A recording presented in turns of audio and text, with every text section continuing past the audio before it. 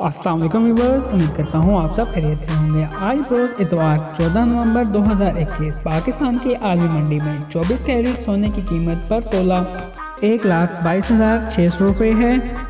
10 ग्राम 24 carat सोने की कीमत एक लाख पाँच हज़ार एक सौ रुपये है।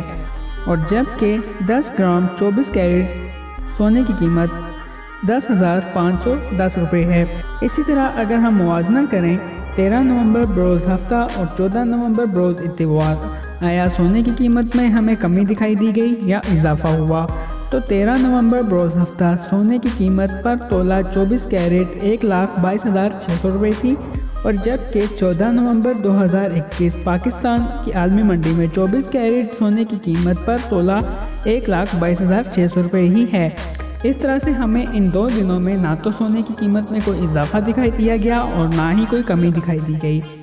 डेली बेस पर सोने की कीमत जानने के लिए हमारा चैनल ज़रूर सब्सक्राइब करें। अपना ख्याल रखिएगा। अल्लाह हाफिज़।